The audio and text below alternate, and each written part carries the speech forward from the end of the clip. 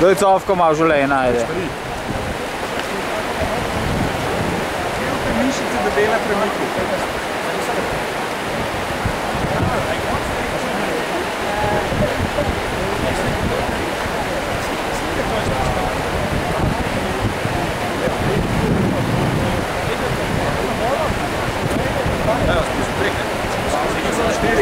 Štirih, ne? Ja.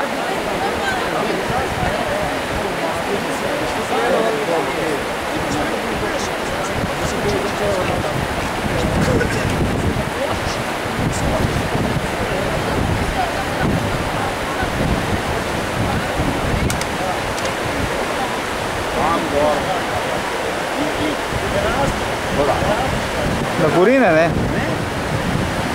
No, zdaj boljš naredil, kot je to lažje.